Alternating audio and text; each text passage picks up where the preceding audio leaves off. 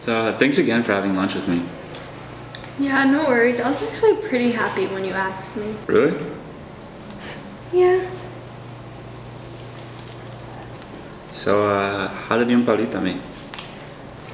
Well, you know, we didn't know much of each other throughout college, but five years later at reunions, we sort of hit it off. And she was living in LA. I had just gotten a job there. The rest is history, I guess. You guess? Yeah, I guess. It's life. One day you're walking down Prospect, the other day you're walking down the aisle. Yeah, right.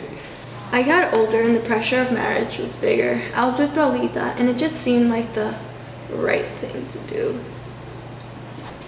Well, did it seem like the thing you wanted to do? Yeah, I guess. You guess?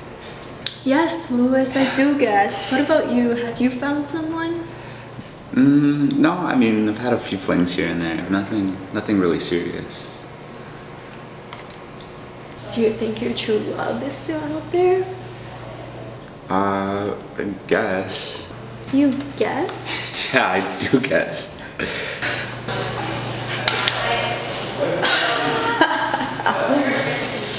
Late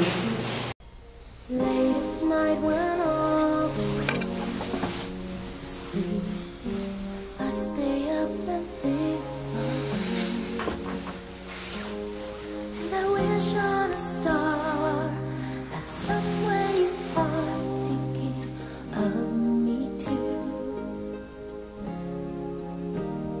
Cause I'm dreaming.